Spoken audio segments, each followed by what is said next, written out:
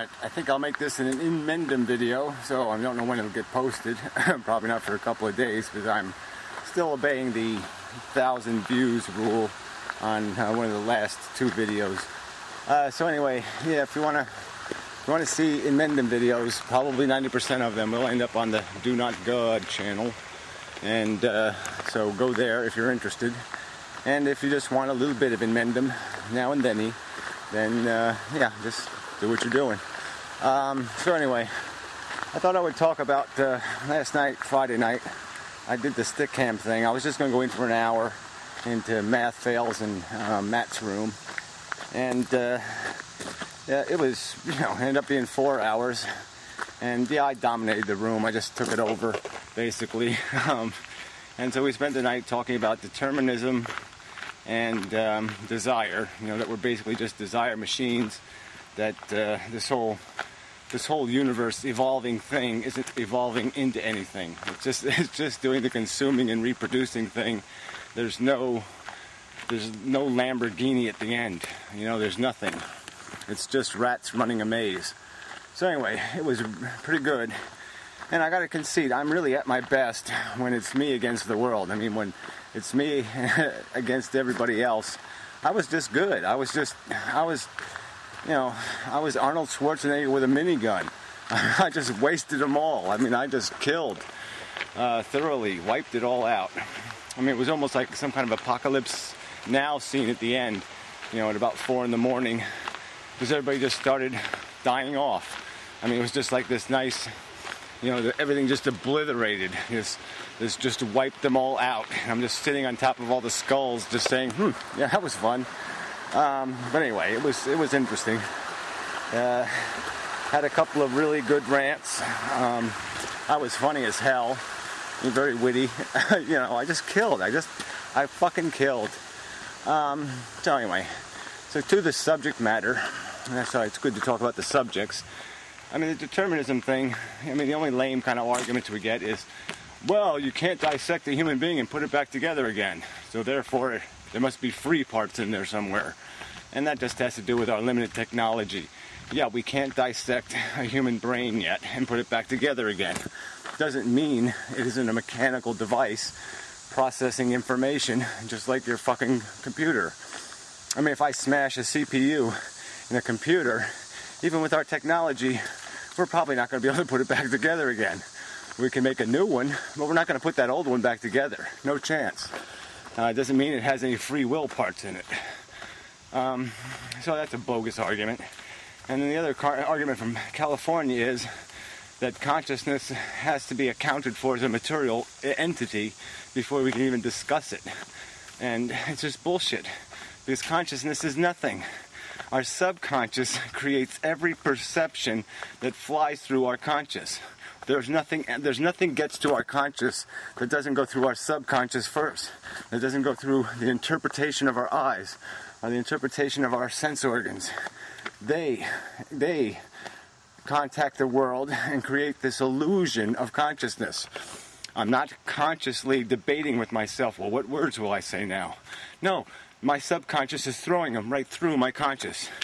I don't, I don't, the consciousness is just, it's just the, it's just the wall that the fly smashes into. It's just the it's the thing you throw the paint on. All right? And then it becomes an image because you threw something on it. But it's nothing without somebody throwing.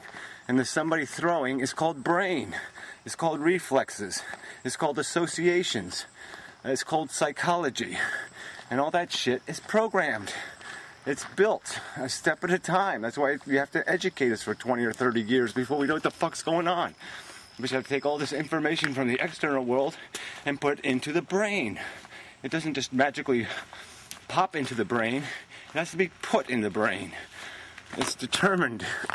Uh, it's just nonsense to discuss this any other, any other context. But it's really nonsense to say, well, because the phenomenon, the illusion of consciousness, is vaporous. We, you know, we can't physically pull one out of a brain and say, there's the consciousness. Um, that somehow we can't discuss it now. And we can't discuss free will and determinism because we haven't established that consciousness even exists. And it's just a pile of shit. We know from our own experience that it exists. We don't need to dissect it to realize it exists. The phenomenon is real. As real as magnetism. As real as some other phenomenon, phenomenon of the physical universe, of its material structure, of its atomic structure, of its photon structure. Uh, so anyway, the whole word free is just so stupid. There is no free. It's an old archaic word, just like spontaneous. It's invented by ignorance because we didn't have the right perception of the world. We didn't understand how it works. It's like sunrise. It's it's a false description. And to say the word free is a false concept. Um, free is what you have left over um, when you do the opposite of free. Okay? And we are controlled. We're controlled by the, the mass, the physical programmed computer parts, the hardware and the software. And there's no other component. And it's just fantasy to say there is. Uh, so it's determined, period. I mean, she keeps saying something like, I think, therefore I am. It's like that's supposed to mean something. no, you subconsciously process, and the, the, the product of that is splatted on a canvas. And so that means something. It means that somehow there's freedom involved? No, it doesn't. so, anyway or that the I is free because you said the word I. Well, whatever. It's just an inane, uh, overly.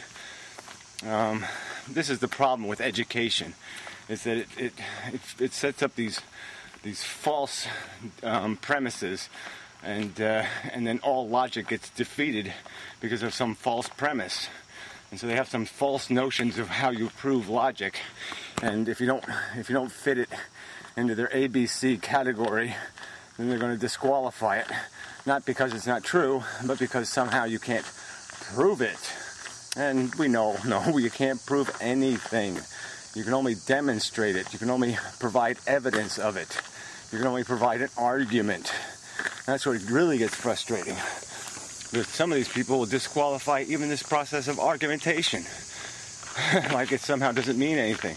And of course, it's a necessary we have to argue for the memes that control human psychology and human understanding to evolve.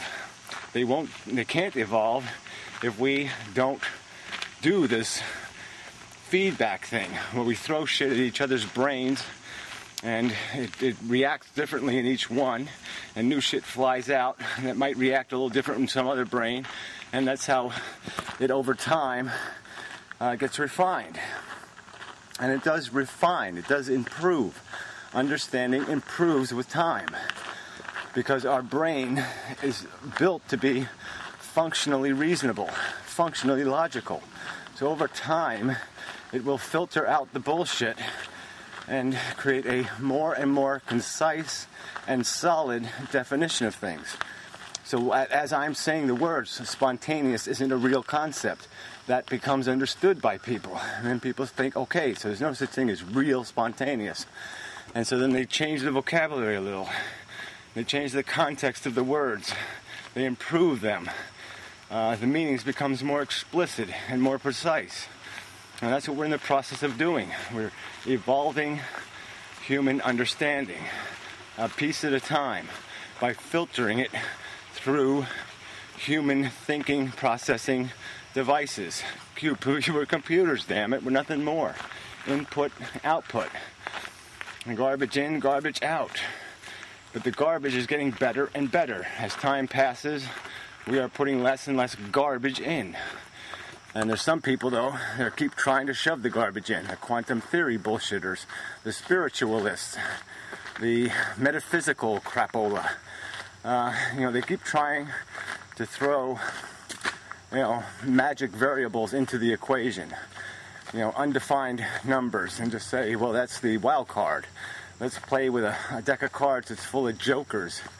And that's, you know, it's bullshit. We don't have to use jokers. We know where we came from. I mean, it's really, we don't have to go to the Big Bang.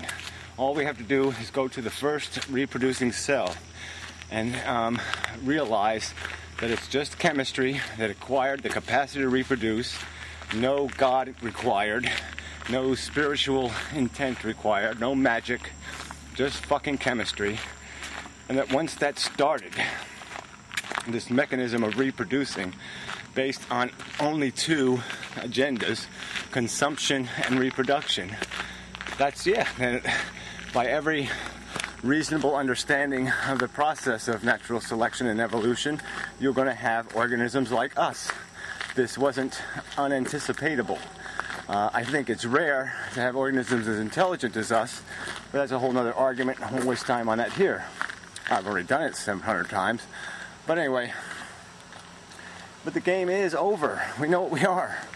We're just eccentric manifestations of molecules that have acquired the ability to consume and reproduce.